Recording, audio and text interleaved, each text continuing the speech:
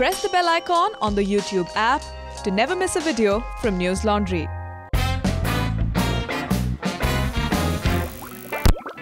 Hello, hello, hello, mic check. Stand by. It's a wonderful old fashioned thing. it's like a sort of human clapperboard.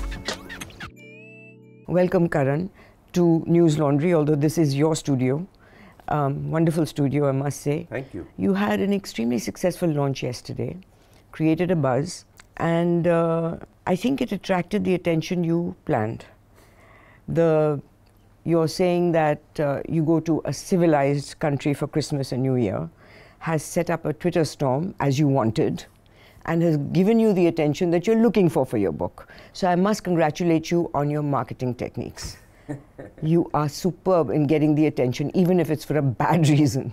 Anyway, um, first I should introduce you a little bit. Uh, Karan uh, worked for 10 years in the United Kingdom in television and some in print also, and then returned in 1991 to television in India, where you did Eyewitness, uh, Home TV, which I think flopped, which you don't mention in your book. You only mention successes, and and uh, Hard Talk, which I'm not uh, uh, to the point with India Today, and Devil's Advocate, which was a huge success with CNN, IBN, and uh, now the book. And you wrote in your book that you think journalists who write about themselves are crashing bores. So why did you write the book? I suppose there's an obvious contradiction, and you very correctly pointed it out. But I wrote the book because I had time on my hands. Um, my secretary said to me that instead of spending your time writing articles, and I've been doing three or four a month for newspapers, in addition to my two regular columns, he said, Why don't you put yourself and make the effort and do something substantial? And I said, If I'm going to do that, the only thing I can really do without getting involved in lengthy and debilitating research is write about the interesting things that have happened in my life. And there are a fair number of them. So I started dictating the book to Santosh, and over the next four and a half months, this book was dictated, sometimes half a chapter, sometimes just a couple of thousand words. But uh, every second, third day, we'd do a little dictation, he'd type it up, I'd correct it, and the book happened. Uh, now, you stand out as one of the few left on Indian television with that clipped British accent, almost British accent. Um, you are an avowed and proud Anglophile. And doesn't that, I mean, doesn't your accent and that attitude sort of date you? Isn't it out of touch with where India is today? I don't know if it dates me, but that is me. Um, I speak English the way I've always spoken it, partly because of the upbringing I had with my parents in India, who were also Anglophiles and who spoke English perhaps uh, possibly in the same way. Um, I've then been in England for about 20 odd years, studying as well as working. And I suppose the accent is a result of all of that. It, to my ears, it doesn't sound very British at all. I have no, to be you don't have an accent. I'm talking about your approach to things, uh, the way you uh, interview, the way you uh, function as a talk show host. It's been a, it sort of falls into the Lutyens category, which is now, of course, BJP Lutyens. But it does fall into the accusation that many people make that this is a small elite group of people who interview people who they know and then go back to the cocktail parties, and it's not real journalism. Well, there are many things you said there in that one answer question. Um, first of all, falling into the Lutyens category is a description. It's a description that is used pejoratively these days. But I would say that falling into the Lutyens category means that you're not Desi and Ganwar, and I don't wish to be Ganwar in any sense of the term. I am what I am. If you don't like it, don't don't have me. You don't have to watch. It's not compulsory. If you're happy, you understand what I'm saying. If it makes sense for you, if you like my manner, if you think I'm professional, please watch. As for the question that I interview just a close circle of people and therefore this is not journalism, I don't think that's true. Um, the interviewees that I've had range from the BJP in the days when they were willing to give me one, all the way to the communists at the other end of the political spectrum. A lot of people in between, such as the Samajwadi Party or the Congress Party, um, the Trinamool Congress, as well as a whole lot of people from different walks of life. Cricketers, I've done a several series with cricketers, artists, actors, directors, authors. Um, the only commonality that distinguishes them from others is that they have to be fluent in English because that is the language I'm most comfortable in. Now, if you say that people who are fluent in English are not really um, Indian in that sense because they don't consider uh, Indian language their first language, then yes, I'm guilty of interviewing a small circle. But I would say to you that the whole of South India would be happy to be interviewed in English and not in Hindi. And so the, the definition that you have to interview in Hindi or do your journalism in Hindi would cut out half our country. Well, just as a conversation, when I first started Newstrack, I used to get calls from our Bombay marketing team saying that uh, why don't you get professional voiceover people to do the the voiceovers because I wanted my regionally accented correspondents to do it in their accent and I felt that this was breaking away from a sound that people were used to, such as Sudhir Dhar Melville de Mellow, which re- who, who really had British accents. I had to fight for it. And I think that there's a certain uh, connotation and respect that comes when you listen to an, to an regional accent in English and you treat it with as much respect as, say, a French accent or whatever. But you seem to think that that accent makes you a Dehati or Ganwar. No. Not necessarily. It's not the accent I was talking about, nor were you. You began by talking about my manner. And it was the manner that I commented on and said that if this manner my clipped way of speaking, as you described it, or my way of conducting myself, which includes my appearance, my dress, uh, my general demeanor. But if that's considered Lutyens, then I said the opposite of that is to be Ganwar and Desi, and I'm happy I'm not. But I wasn't talking about accent at all. I am totally with you when I think you need to have a variety of English accents You're as not well as a variety of Desi. Hindi accents. If you use the word desi in the pejorative sense in which it often No. was used, then I'm not happy being desi. But if desi no, today Desi is said with pride. well, if it means being Indian, I'm very happy to be Indian. I am Indian, in fact. There's no You question can't of being help happy. it. No, not all I can't help it. I embrace it with pride. You've written in your book about uh, when you were in, in college in England and you um, about your sartorial appearance and people thought you were fey, even gay. So now you've you're probably the only person I've seen on television who wears that bow tie. Why? Oh, Why? Ra- Why do you love this bow tie so much? I'll tell you, it's a it's an anachronism in India. It represents another era. it may be an anachronism in India. It's not an anachronism in countries like America, but I wear a bow tie to attract attention. I thought that was pretty obvious to anyone. It becomes a talking point. It makes people watch. It makes people remember. It creates an image that is distinct and different to that of others. It's a wonderful way of projecting yourself. And I thought everyone understood that he wears a bow tie To attract attra- attention. Of course.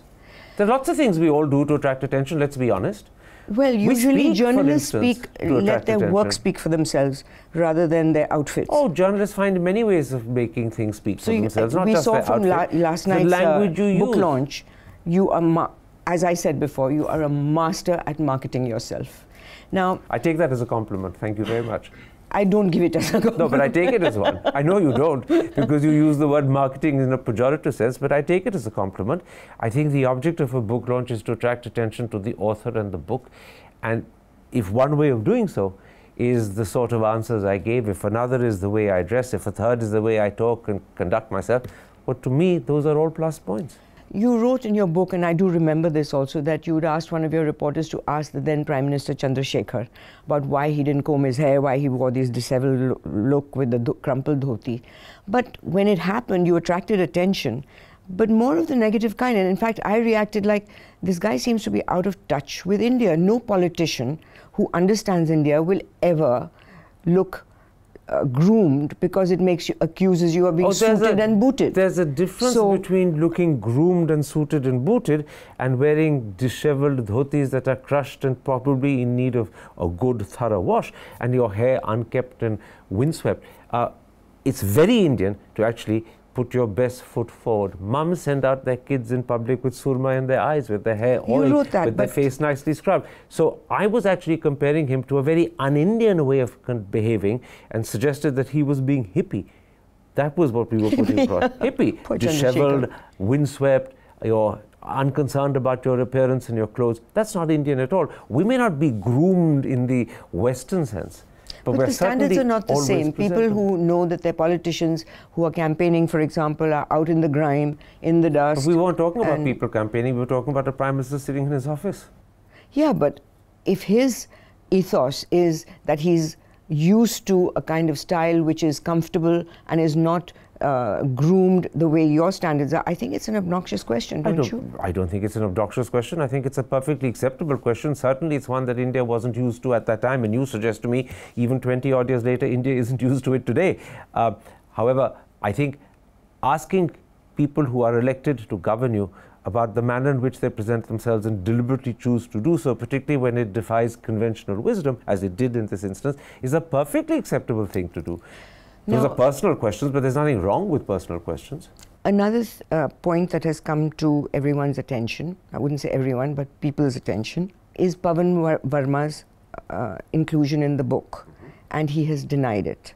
Did you, before putting it in, call him and tell him that you were going to put it in, the comment? No, I didn't. And in fact, I explained to Pavan why I didn't. First of all, this was admittedly a private conversation in the sense that there were only two people in the room present, him and me.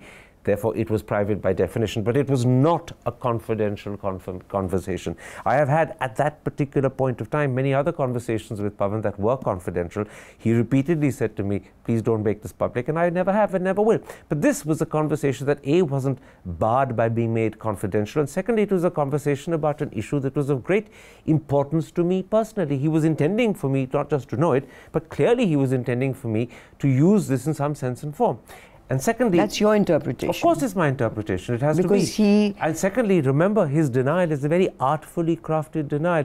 He says the conversation, as recalled by Karan, hasn't happened, which clearly suggests that some other sort of conversation may well have happened.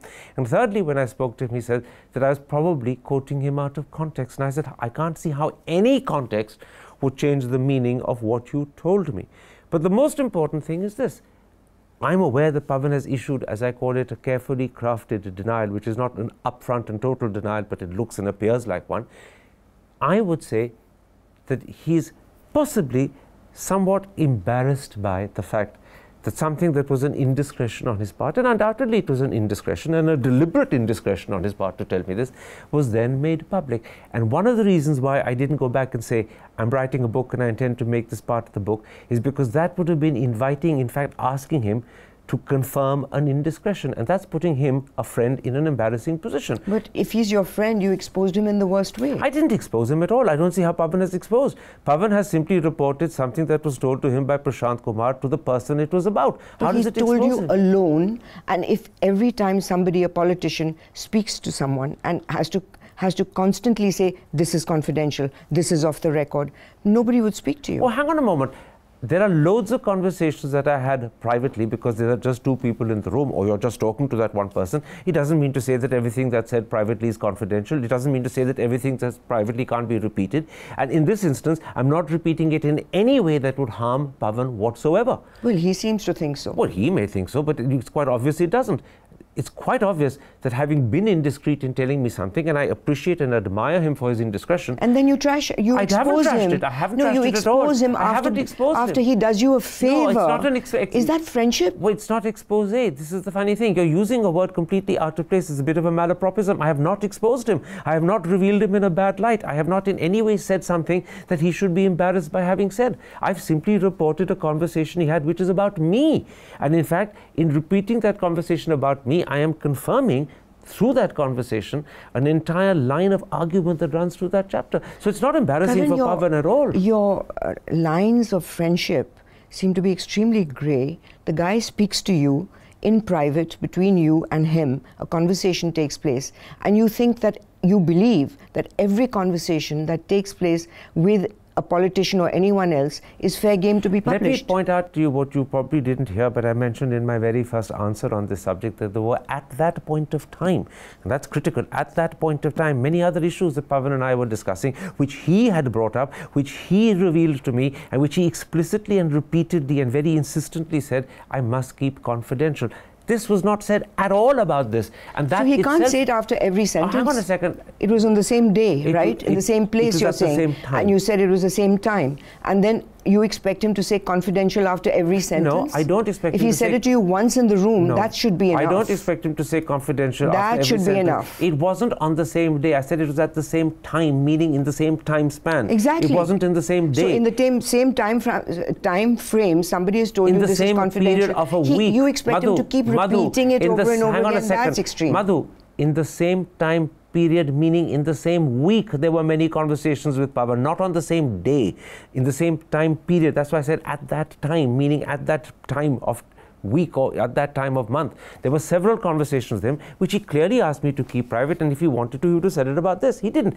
He's simply embarrassed, and I can understand because his indiscretion has been made public, and it will have obviously an impact on people like Prashant Kishore. And more importantly, it's not Prashant Kishore that I guess he's worried about but the impact it will have on Mr. Modi because the relationship that Pavan and his party have with Mr. Modi today is significantly different to the relationship that the party had with Mr. Modi when this conversation happened. But and you it's have no qualms of no, you're calling it an indiscretion, Yeah. which was done as a favor to you, Yeah. and you have no qualms. no, none. On, on no, none. exposing I'm that answering kind you of now. thing. I have no qualms at all. None, It's- none whatsoever. it's, a, It's not an I feel expose sorry for your friends. It's not an because, expose. Because an you can, you knew that it would embarrass him, and you still did it, and you call it, call yourself a friend. I knew that it would That's embarrass him, but I don't think it was a sort of embarrassment that would be crippling, and I don't think it is. Pavan remains a good friend, and we've Well, yesterday you dismissed it as a senior moment, I do, which was kind do. of cruel. It's not. Pavan and I are the same age. So maybe you of three or having the years. senior moment. Well, I can't have a senior moment. I could have an hallucination, possibly. In other words, I could have made up a conversation, but I can't have a senior moment. I'm, you can So that accuse was me. your senior you can moment that accuse you me. made it up? You can accuse me of manufacturing an entire conversation, right? But I reported it because I said to myself that Pavan has no. Um, agenda in repeating this to me. He wouldn't embellish it. He wouldn't manufacture a story. He happened to be sitting in my office and looked upon the photograph of Mr. Modi when Mr. Modi was walking out of a particular interview and asked if that was the particular time when the interview happened and when Modi walked out. And I said yes. And then he told me the story. And at that time, by the way, when he told me the story, I think the date was the 17th of October 2017. I actually dictated as soon as Pavan left a note to my secretary as an aide-memoire to myself so that what Pavan had said would always be fresh in my memory because it was clearly such an important thing to hear. You're a very hurtful friend. Now, let's. Well, that's your comment and conclusion, but I no, don't it's think. in public. We're Well, doing doing this in I public don't to think a Pavan, friend. I It's don't not think, my comment. I don't You're think, doing this in I don't public. think Pa- Pavan has been hurt. How does it feel to not be given credit for what you have been a pioneer in? Which is, and what are we talking about? We're talking about being rude, obnoxious, um, interrupting people. Arnab has overtaken the le- what you started in India. You were known for that. And now he's the Chela has surpassed you. But I'm not. Sure. First of all, he's never been a chair of mine. He's never worked with me. We've never been in the same company. But your company influence is together. clearly there. But that's your pr- assumption. But I don't see how this question follows. What does it feel like to be denied credit? Who's denying me credit? And what People have credit am I forgotten claiming? that you were the one who started the shouting and the yelling and the interrupting and being But rude to Madhu, people. I'm not. I've never claimed credit. He's gone far. He even have throws off denied, people but off I've, his show. You, I've never you just had people walking off your show in disgust. But he throws people out. So he surpassed you, and and I think that you've been cheated. Wonderful. I applaud him for surpassing me. All credit to him. You were also a pioneer in not according dignity to the person you interview, such as your interview with Ram Jethmalani, where you said to him that you're uh, taking up Manu Sharma's case to resurrect a flagging career. Now, isn't that unkind? I mean, what if I said to you, Karan, you're writing a book because you have no platform, you have no, your career is over, and that's why you're writing this book because you have nothing left. Isn't that unkind? No, because if you believe it to be the truth, why is it unkind? But don't I mean, you are, have are you are you in the business? Are you in the business of putting on a facade, probably hypocritical and probably wanting to appear to be nicer than you are? If you have a question in your mind and you think it's a legitimate question to ask, go ahead and ask it. It's, Kind or unkind is an irrelevance. No, it's a question of there are certain human values that a journalist usually maintains that you Human values are usually brought up as a moral bludgeon to try and tackle someone when you have no other better way of doing so. You're bringing up morality simply as a way of trying to score a point. You know full well there is no morality involved here whatsoever.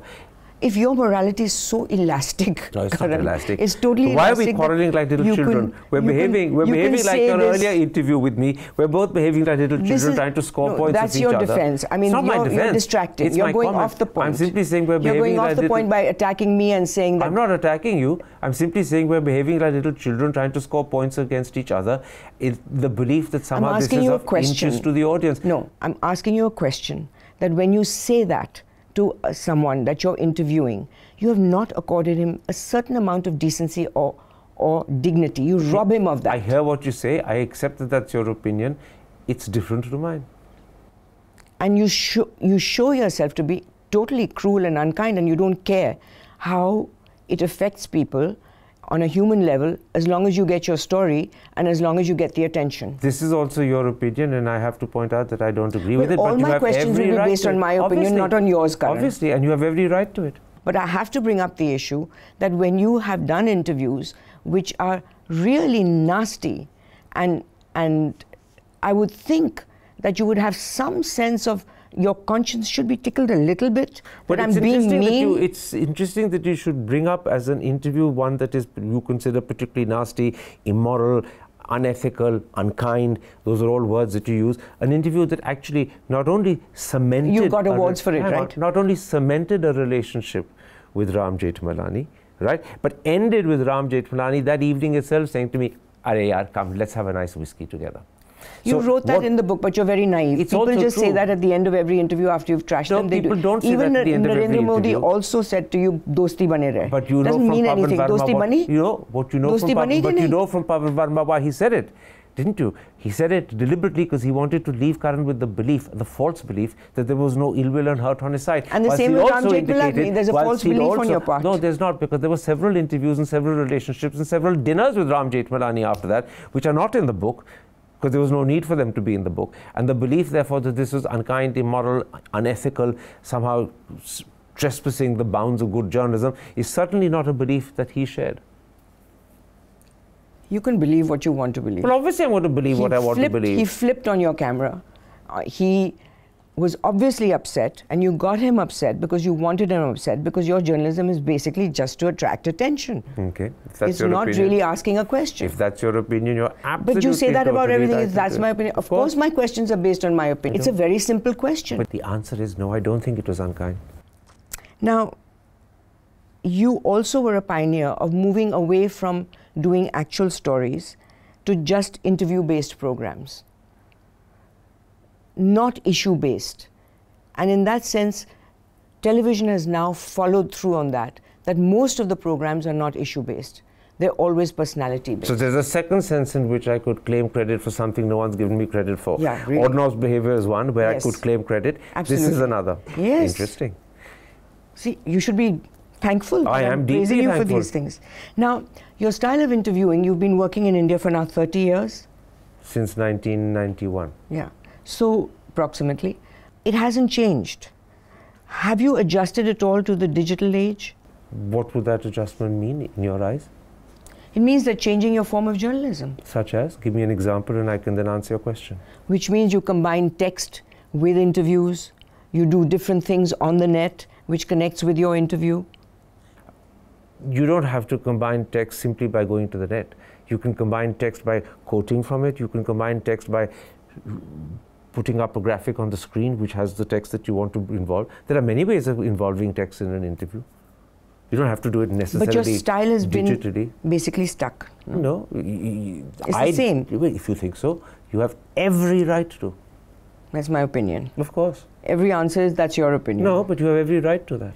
Okay, now when you and I were doing covering the election live for India Today, for Doordarshan actually, and India Today was doing it, and you were on there also, one of the co anchors. Do you remember? I do indeed. It was 1998 and 1999. So you did not, you came on board only with the condition that Uday Shankar would be speaking to you in an earpiece.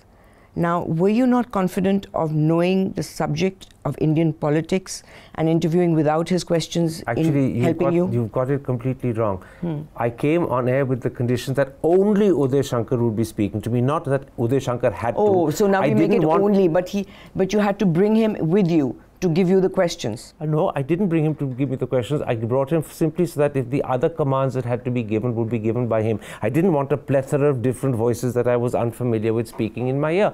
That's all. That's a nice way to get out of it. well, it's not a nice But to get out of it. you only want to was- hear the truth, Madhu, what other, you're what getting the truth. instructions could he be giving other than feeding you the questions? No, he wasn't feeding the questions, not even one. And if you wish, you can check with him. I would suspect that you're probably having what I described of someone else a very senior moment. So anything you don't like puts people in a senior moment. No. Have you ever been to any village Yes. in India? Yes, Which several one? in the Punjab. Doing what? Reporting?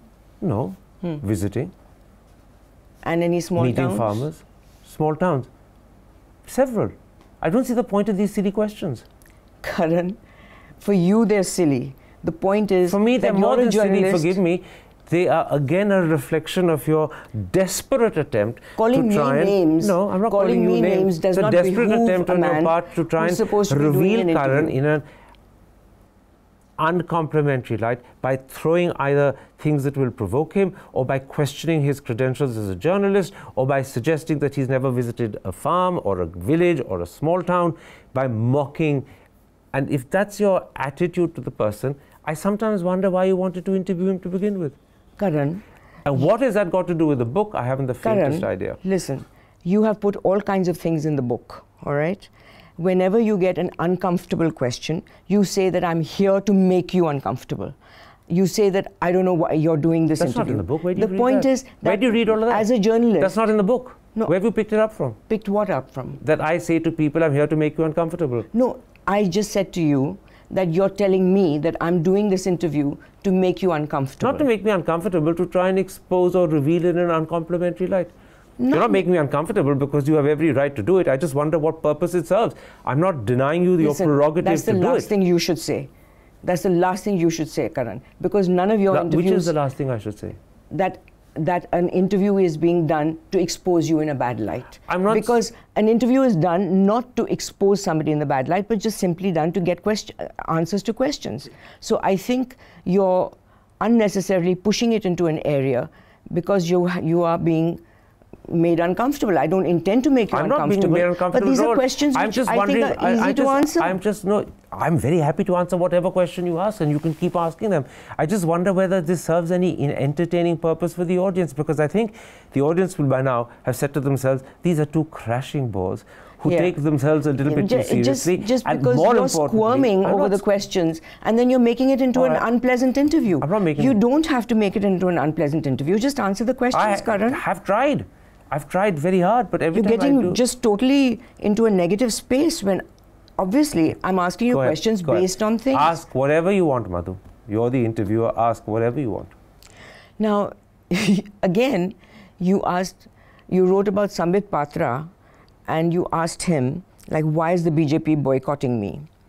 And he asked you, can you keep a secret? Absolutely, and I wrote it. And you assured him. And I wrote it. and you assured But him I that yes, revealed I that can. fact. I'm the one who revealed the fact, and therefore I'm the one who was making clear that I was, in this instance, breaching a confidence. It's in the book. I it's know, not that's something that I'm somebody saying. could have told you. I have told the world that. Yeah, but is that is that, you seem to think that it's all right to breach anybody's confidence. No, not anybody's, his. And the reason I breached his confidence is because what he had told me in confidence was then confirmed shortly thereafter by three others considerably senior to him, starting with Prakash Javadekar, But including Ram you, Madhav, "Can and at one level secret?" Arun Jaitley. And He- no, in and- that instance, I didn't. is- I didn't. I You- didn't. So you have basically amoral that you don't need to keep secrets, you don't need to keep your word. I wouldn't jump to How that un-British conclusion. can you be? I wouldn't jump to that conclusion. Then how do you describe a person who's somebody who's trying to help you, tells you something in confidence, tells you clearly that it's a secret, and then you write about it? Yes, that's what I did. I did that. It's in the book. It's not something you've dug up. I've revealed it to the world myself. No, I'm not claiming I've dug it up. I'm asking you that isn't this something that you seem to have no qualms over? No, clearly I don't have any because I wouldn't have put in the book. Now, you spent numerous pages in your book enumerating BJP's boycott of you. Mm-hmm. Why do you have to go knocking on their doors? There are pages and pages. You spoke to so and so, you spoke to so and so. Why can't you do journalism without them? because I felt as a journalist that I had a certain moral duty to myself to make sure that boycotts don't happen, particularly boycotts for which I see no valid justification whatsoever. And therefore, if I can take some steps to try and remedy the situation and end the boycott, it was incumbent on me to do so. That So basically, your journalism is based on access journalism. No, I'm not sure if you want to come to that conclusion, but if you feel it's a valid conclusion, as I said, you have the right to it. I wouldn't describe my journalism as access journalism, but go ahead. But what other stories have you done besides accessing politicians? Madhu, let's leave that aside. This is a question that is designed once again to suggest that Karan's limitations are the more important concern. There are loads of people who are current affairs. Karan, Can I finish? You're taking things very finish? badly. Can I finish? They're not meant badly. You're, I know. They're legitimate I know questions. imitation is the highest form of flattery, but don't imitate me by interrupting everything I say because we end up No, quarreling with each that other. That is a given. Right? That That's- I know. to. I know that. Absolutely. But it's a strange form of flattery to imitate me by interrupting me. All I was saying to you is that there are two clearly different streams of journalism. There's news reportage and there's current affairs discussions. And I have So you're in access journalism. There's um, nothing wrong in that. the access journalism is a pejorative way of describing something which you want to color. I wouldn't call it access journalism. I would call it current affairs journalism. But there's no issues discussed. There's Of no course there current are issues discussed. You're- I'm- I'm terribly you're, sorry. You're focused on a personality. No, let's not focused on the person. None of my interviews are personality interviews except for those done for the BBC program Face to Face, which were designed to be personality interviews. All the others are actually entirely issue based. Now, going by your own account, this is another My own account of what? in the book about Narendra Modi, who really rather generously suggested questions to you before an interview with Sudarshan ji of RSS.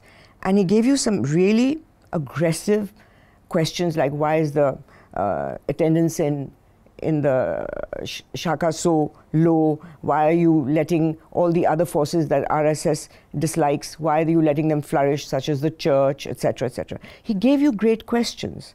Obviously, that was done in confidence, and you wrote about it, and you wrote the questions that he gave you, and you also wrote. I mean, I, I think I really need to go to the book on this. He said, "Question Sudarshan." Sudarshan ji about the RSS loss of relevance.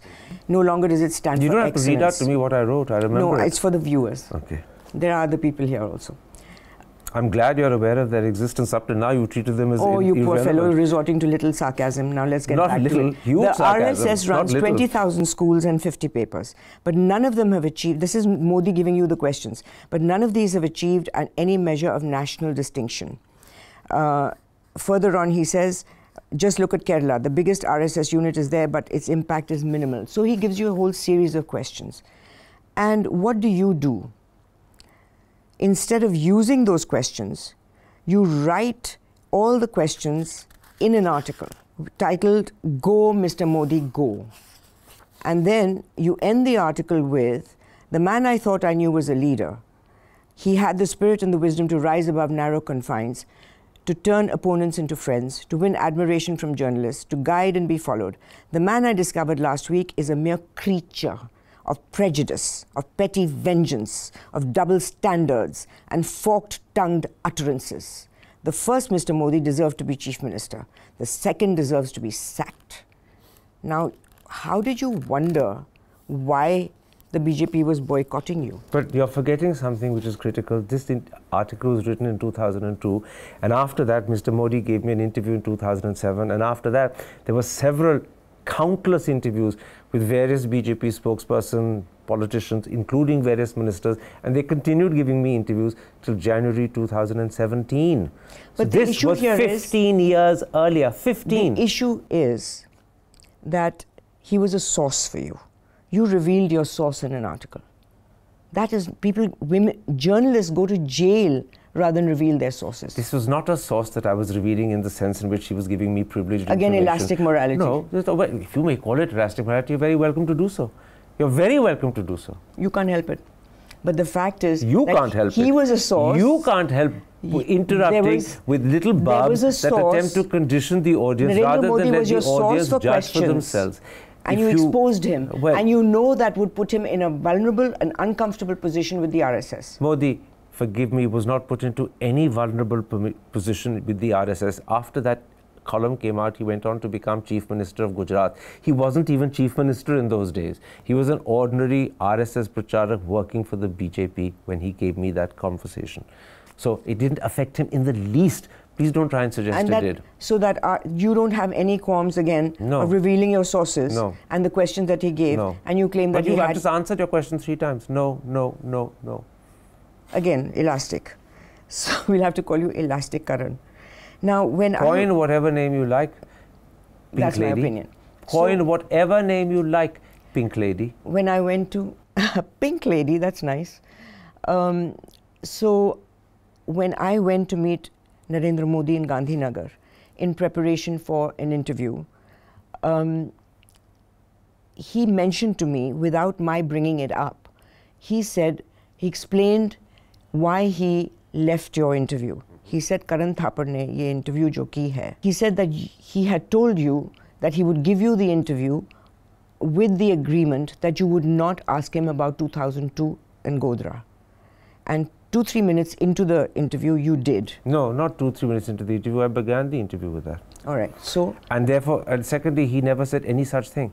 Before the interview was granted, we had no conversation with each other except for the conversation that happened the morning I arrived at the airport when he welcomed me at, on the phone and said, Come early, we'll have tea. so he that- told me this. Well, That's he may his have. word I'm against not, yours. I accept your word, he told you, but I have only your word, he told you this. I don't have his. And secondly, we had no conversation before the interview at all. The interview was fixed, if I recall correctly. I think I mentioned in the book, through the good offices of Arun Jaitley. now, you were acting So, as. Wagon, let's come back to this so called conversation he had with you. Hmm. I'm accepting he had it with you, but he Yes. hasn't said so. How do I know for a fact he you can check with him. Well, I can't check with him. You can't just pick up the phone and ring Well, up the I'm Prime saying it publicly. I'm sure you're saying it publicly. There are lots of things you say and publicly. I couldn't say I'm not in a position. unless I can't. unless I was sure of my you're wrong. facts when it's related you to there Narendra are Modi, which can be checked. You could say a lot of things without being sure of your facts. First of all, you were wrong on one thing. You said two, three minutes into the interview. I Oh, now we're going to pick I it. I began- didn't say. I didn't say two, three minutes. And I said secondly, you claimed that he had a conversation You're with really picking at No, you said he had a conversation with me, and I'm telling you quite clearly he didn't. He had no conversation. I was so wrong in saying uh, two, three minutes into the interview when you started the interview. I was so Madhu, wrong. Madhu, You're you're pulling- probably, forgive me, you're probably, forgive me, embroidering a conversation with Modi to try and turn it artfully to a question that would somehow make Karan look as if once again Karan went back on a commitment he had made. Okay. No conversation. There, was, Let me say there this. is no way Give me a any journalist Let me, can go on camera and claim to have said that Narendra Modi said something which is on record. You know full well that Mr. Modi is hardly likely to be watching Newslaundry. You know full well it's impossible for anyone to pick up the phone and ring up Mr. Modi and ask him, Did you have a word with Madhu?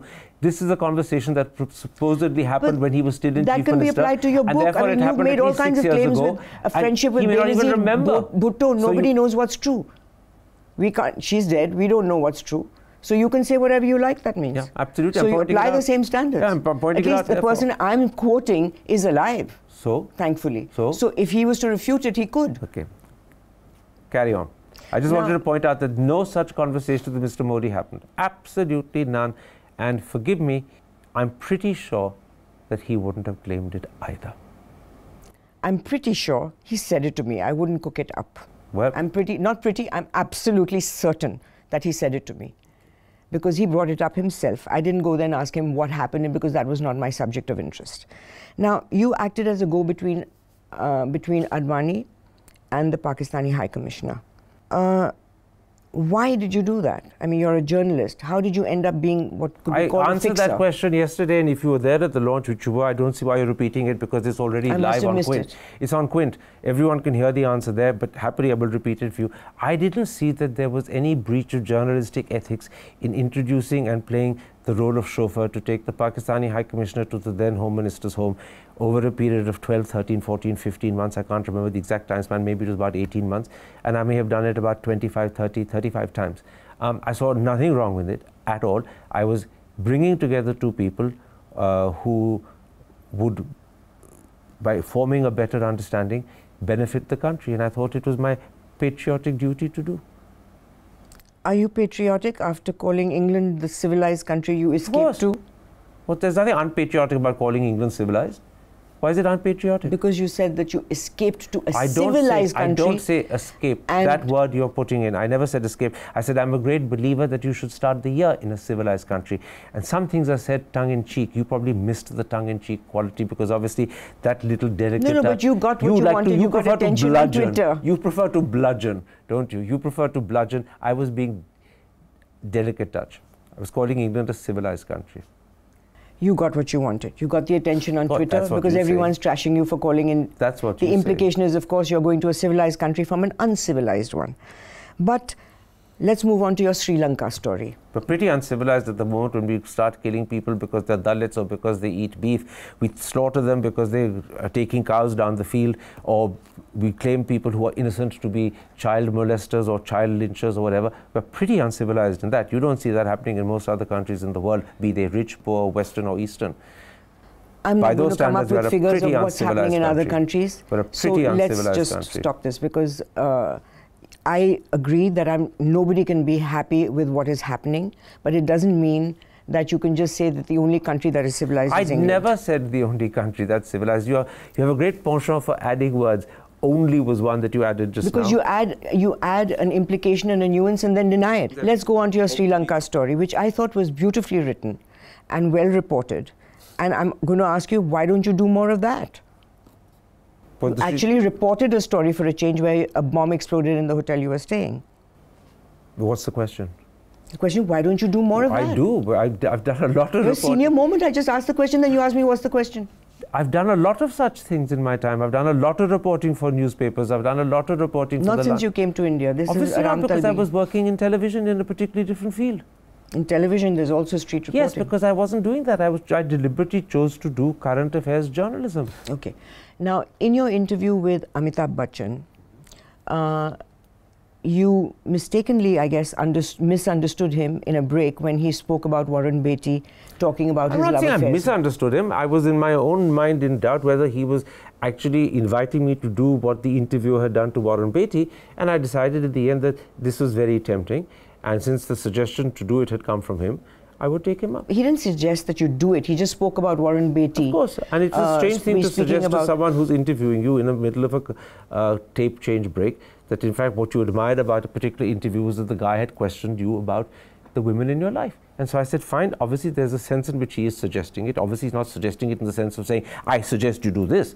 But the clear assumption is that you don't alert an interviewer to a particular line of questioning unless you're half hoping or half intending that that same line be used to you. Yeah, that's And a so I said, huge presumption Well, that he's discussing an interesting A- a- interview, a lot and then you take it as a clue. Cue. course- anyway, of course it's a presumption. Didn't you feel a little uh, embarrassed asking him? And then, that- Uh, have you had affairs with Parveen Babi, with Rekha, and then his wife is sitting next to him, and then he, after he denies it, you ask her, "Do you believe him?" These his are children. Not, what, it, of course, you feel a little embarrassed. How do you not? Any human being would feel a little embarrassed.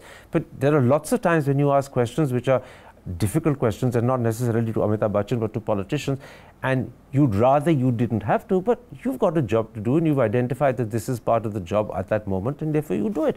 And you overcome whatever hesitation you have. And similarly, whatever sense of small embarrassment I felt, and obviously it has to be small, it can't be huge embarrassment because if it was huge embarrassment, I wouldn't have asked the questions at all.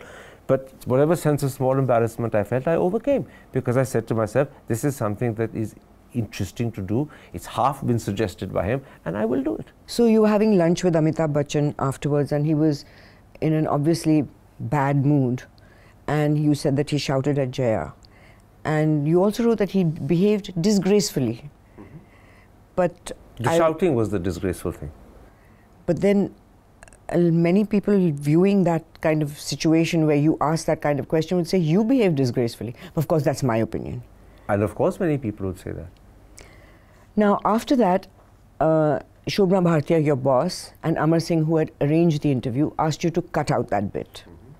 You cut it out. And then you. and then Leaked it to Anand Sahai.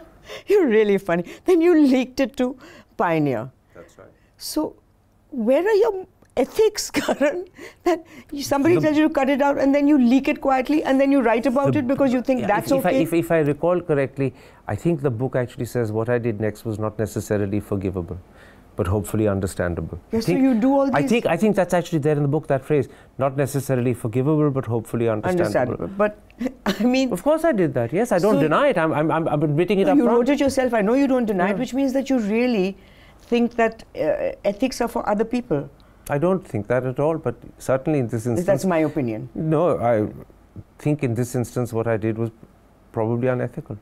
Now, w- in India, we actually have really crossed the line that you have in your interview with Amitabh. We journalists have stayed away from uh, personal lives in politicians. And once uh, Atal Bihari Vajpayee was asked about his relationships, and he made it clear at that time that ask me anything about politics, I will not speak about my personal relationships.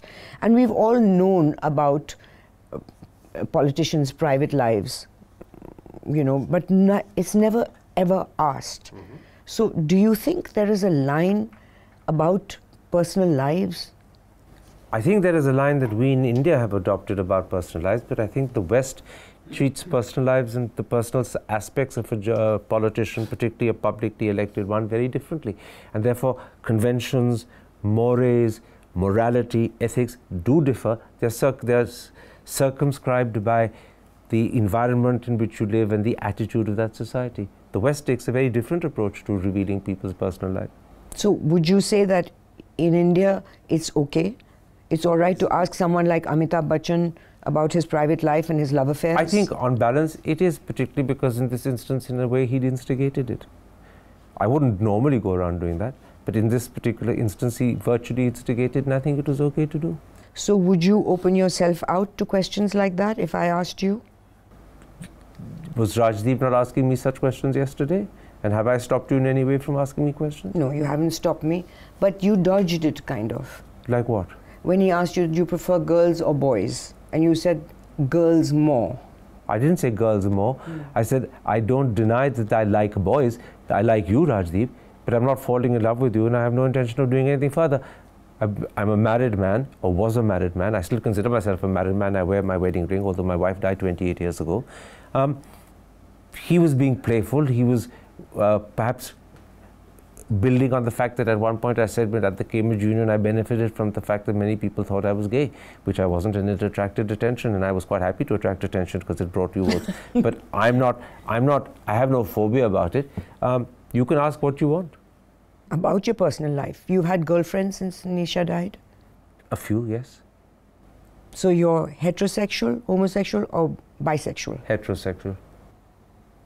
Thank you so much, Karan. What a relief. Now I can flirt with you legally. You can flirt with me even illegally. It will probably be more fun. Thank you very much. Pleasure.